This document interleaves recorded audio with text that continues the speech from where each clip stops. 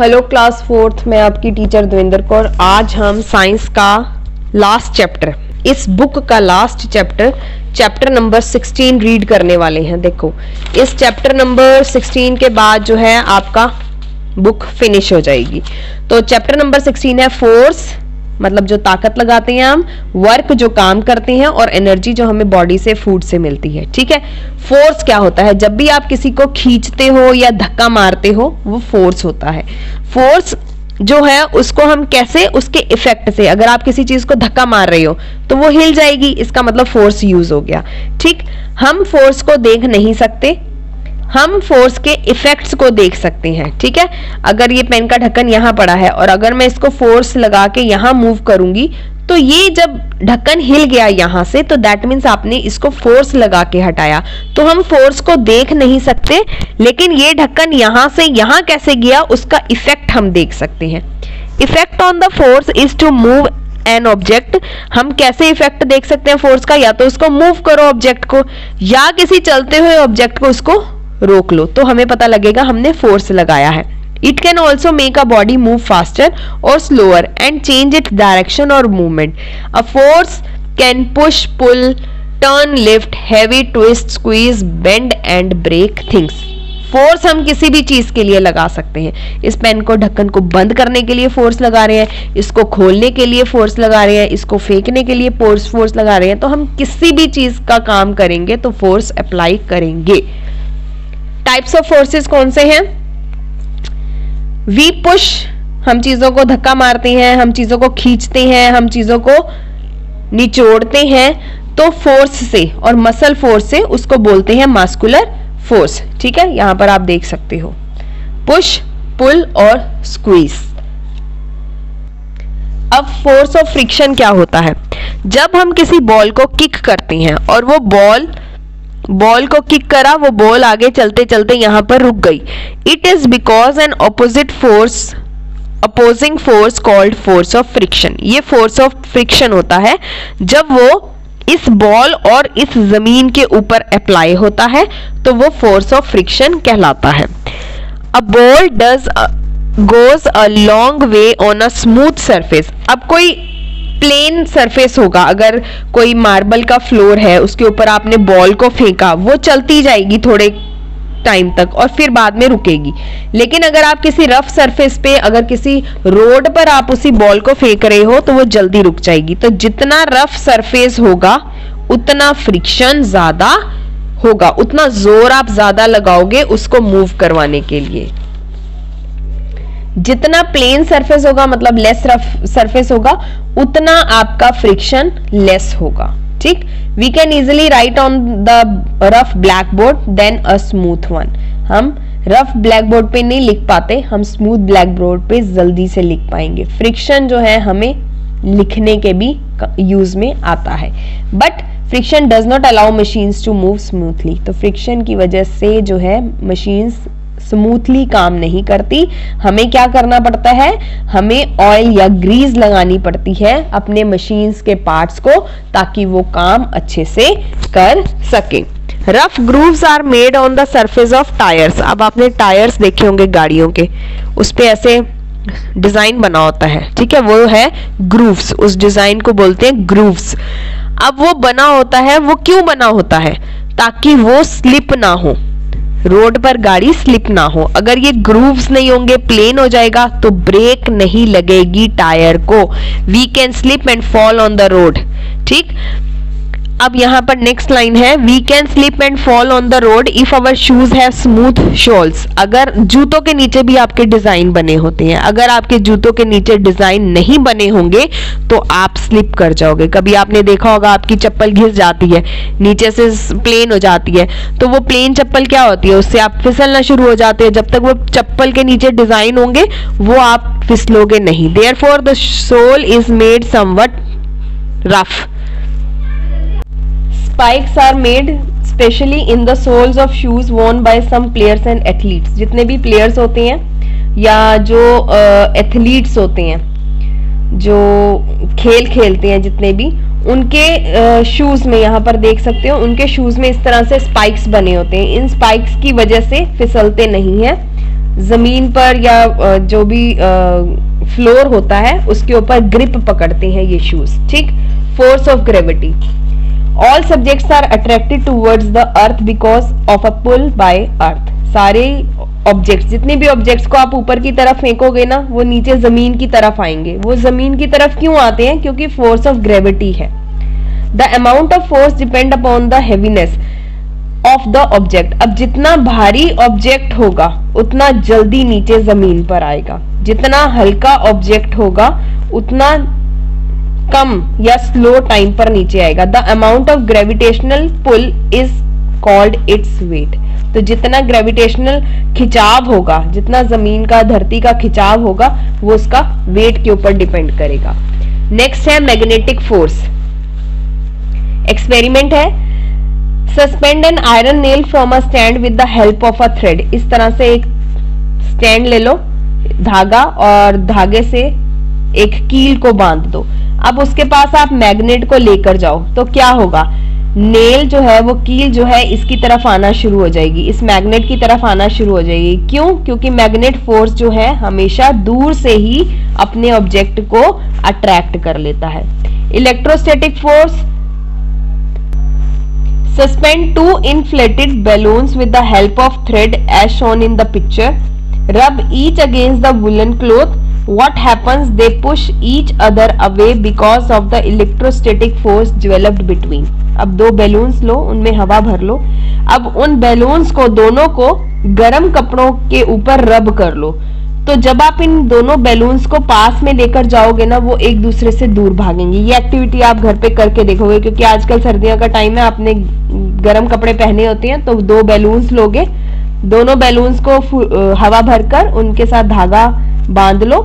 और दोनों बैलून्स को आप वुलन क्लॉथ के ऊपर रब करोगे। रब करने के बाद उनको एक दूसरे के पास लेकर जाएँगे तो देखना कि वो एक दूसरे से दूर कैसे भागेंगे। फोर्स ऑफ़ बायोन्सी अगर आप किसी खाली मग को या किसी लकड़ी के टुकड़े को पानी में अंदर की तरफ़ धकेलोगे, ठीक है? तो वो एकदम से बाहर आ जाता है।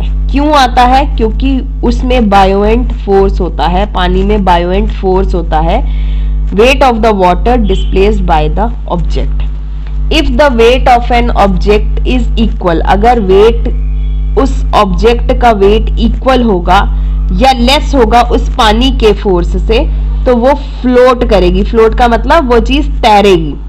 और वो कब डूब जाएगी चीज़? अगर उसका वेट ज़्यादा होगा। पानी में कोई पत्थर डालोगे तो वो डूब जाएगा। क्यों डूब जाएगा? क्योंकि पत्थर का वेट ज़्यादा है। पानी का वेट कम हो जाएगा।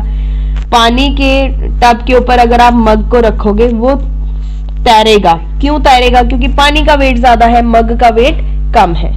ठीक यहाँ पर बायोइंट फोर्स खत्म हो गया।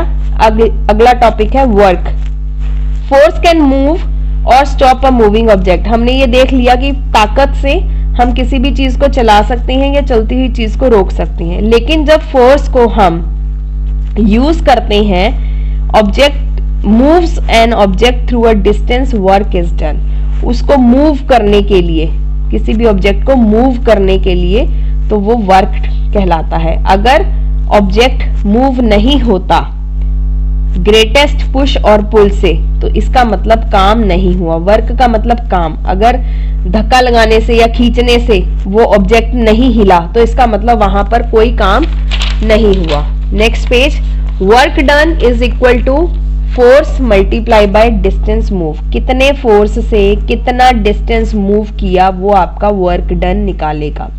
When a force moves an object a long distance, more work is done than moving a short distance. अगर आप ज़ोर लगाते हो और कोई ऑब्जेक्ट लॉन्ग डिस्टेंस पर गया तो आपका वर्क डन हो गया। ठीक? Work done is work is done when a football is kicked अगर आप किसी भी रुकी हुई फुटबॉल को फोर्स लगाते हो किक मारते हो तो वो दूर चली जाती है। एक बर्ड फ्लाई करता है स्काई के स्काई में you are walking with the with your school bag तो इसका मतलब ये आप सारे काम कर रहे हो, क्योंकि आप एक जगह से दूसरी जगह मूव कर रहे हो या चीज़ों को मूव करवा रहे हो। अब हम पढ़ेंगे मशीन्स कोई भी टूल कोई भी ऐसा टूल जो हमारे काम को इजी बना दे, उसको सिंपल मशीन बोलते हैं। सिंपल मशीन जो है चेंज करता है direction of force other increase the speed of work का आ, मतलब फोर्स से डायरेक्शन चेंज हो जाती है और काम जल्दी हो जाता है। तो सिंपल मशीन से हमारा जो काम है इजी हो जाता है। अब हम बात करेंगे energy the energy is the capacity to do work कितना काम आप करते हो वो आपकी एनर्जी पे डिपेंड करता है। द अमाउंट ऑफ़ वर्क कितना काम आपने किया ठीक है? किसी ऑब्जेक्ट पर आपने कितना काम किया is called the energy of that object when bullock pull a cart जब दो बैल एक बैलगाड़ी खींचती हैं तो the energy of moving bullocks produce a force this force makes a cart move अब ये बैल जो है, अपनी ताकत लगाएँगे, तभी तो ये गाड़ी खींचेंगे। The bullock had the capacity to do work, which has put to use by exerting a force of pull. तो इनकी ताकत से ये गाड़ी खींची। तो इन्होंने क्या ताकत ली? एनर्जी अपनी एनर्जी से वो ताकत लगाई और ताकत से ये गाड़ी खींची is called energy forms of energy क्या है?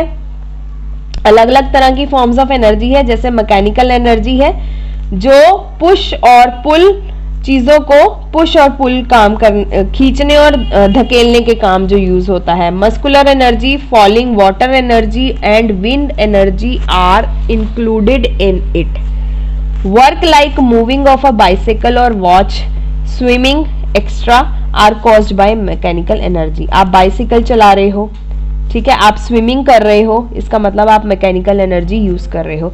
Mechanical energy makes the machines move चीज़ों को मूव कराते हैं हम।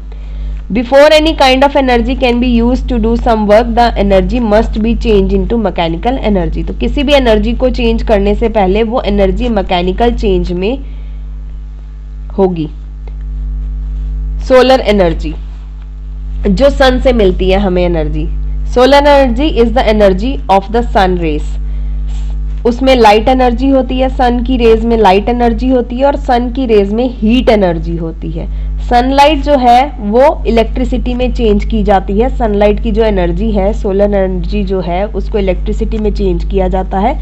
हम दिन में चीज़ों को कैसे देख पाते हैं? डे लाइट की वजह से सन की लाइट की वजह से। Heat of the sun rays is use in solar cooker solar cooker में सन की रेज यूज़ होती है और उससे पानी गर्म होता है या आ, खाना बनता है। Heat energy is also obtained from burning fuels heat energy हमें और कहाँ से मिलती है? जब कोई चीज़ें जलती हैं, तब भी हमें हीट एनर्जी मिलती है। Heat energy changes into mechanical energy heat energy जो है मैकेनिकल एनर्जी में चेंज होती है। तो कौन सा काम होगा? इंजन्स और मशीन्स मूव होंगी।